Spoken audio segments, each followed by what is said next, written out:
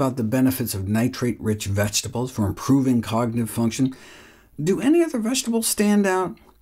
Mushrooms are in a class of their own, literally, in fact a kingdom of their own, belonging to the fungi rather than plant kingdom.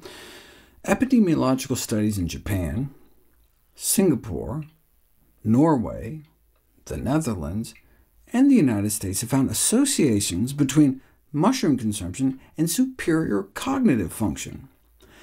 Compared to people who don't eat mushrooms, those in the highest category of mushroom intake in the U.S. had a higher performance on various cognitive tests, and that highest intake was only averaging about one mushroom a day. This result appeared to be independent of other dietary and lifestyle factors. The researchers suggested it may be the unique mushroom antioxidant ergothioneine that I've profiled previously.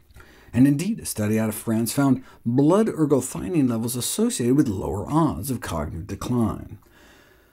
The U.S. research team suggested that regular mushroom consumption may reduce the risk of cognitive decline, but it was just a cross-sectional snapshot in time, so you don't know which came first. Japanese researchers performed a prospective study following more than 10,000 men and women aged 65 and older for about six years. In that time, about 1 in 12 was diagnosed with dementia. What seemed to lower risk of falling into that faction? Mushroom consumption. Compared to those who ate mushrooms less than once a week, those who ate mushrooms three or more times a week had a 19% lower chance of becoming demented. Uh, the cross-sectional study in Singapore found 57% lower odds of having cognitive impairment among those eating more than two portions a week.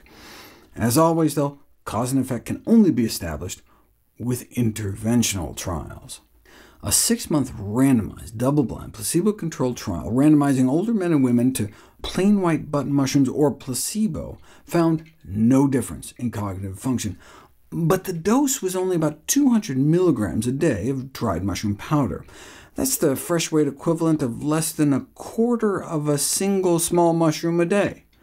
This enabled the researchers to stuff the mushrooms into capsules so they could be blinded against placebo, but offers little insight to what even a single daily serving of mushrooms might do, which would constitute 50 times the studied dose.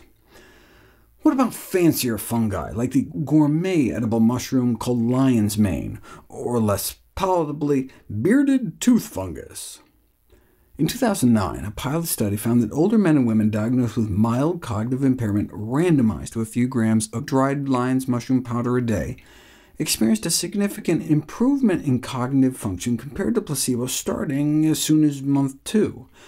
Despite the promising results, an attempt to replicate the results wasn't published for another decade. Researchers tried about 3 grams of powdered lion's mane mushroom a day in cognitive healthy older adults, a significant improvement over placebo was found in one of three cognitive measures.